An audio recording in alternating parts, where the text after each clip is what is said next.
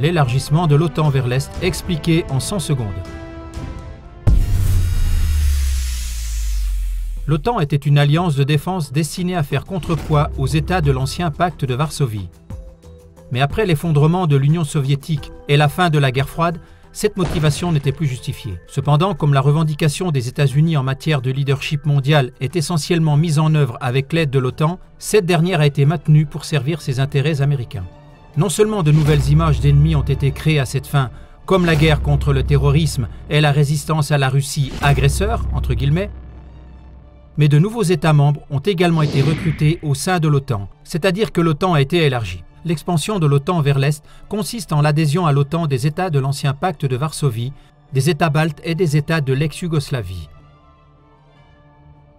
L'OTAN se rapproche ainsi toujours plus de la frontière immédiate avec la Fédération de Russie et poursuit une politique d'encerclement provocatrice et capable de mettre le feu aux poudres. En bref, lors d'une table ronde sur la chaîne internet Ciné 2012 TV, l'historien, politologue et chercheur sur la paix Daniel Ganzer explique en seulement 100 secondes le contexte, l'illégalité et la dangerosité de l'élargissement de l'OTAN vers l'Est. Ciné 2012 TV aborde des sujets qui ne sont pas couverts par le mainstream et met ses programmes à disposition gratuitement.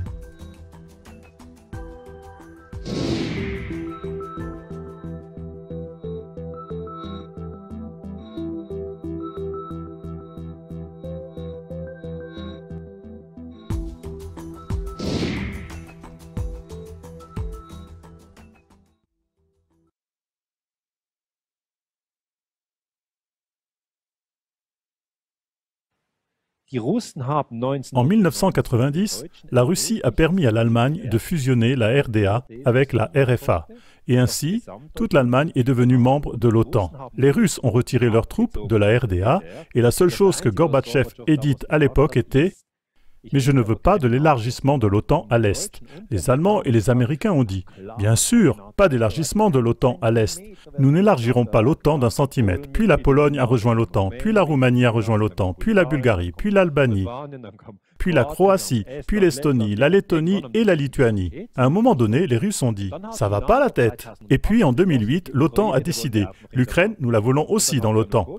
Et puis Yanukovych, le président, a dit « non, non, non, non, je ne veux pas faire partie de l'OTAN ». Oui, il a été renversé le 20 février 2014 avec des tireurs d'élite à Kiev qui tirent sur les Ils tuent des flics et des manifestants. Très clairement, une opération sous faux pavillon. Avec une opération sous faux pavillon, on peut déstabiliser n'importe quel pays. Alors, Poroshenko est amené. Poroshenko va entrer dans l'OTAN et à la fin, il s'est emballé en disant « Oui, les Russes, ils sont super agressifs ». Poutine n'a fait que contrer. Donc si vous voyez cela comme une partie d'échec, l'OTAN ouvre, pousse les pions de plus en plus loin, c'est l'élargissement de l'OTAN vers l'Est. Puis elle bat la reine. La reine tombe. Et seulement alors, Poutine contre afin que son roi ne tombe pas. Et il prend la Crimée parce que là, il a la flotte de la mer Noire.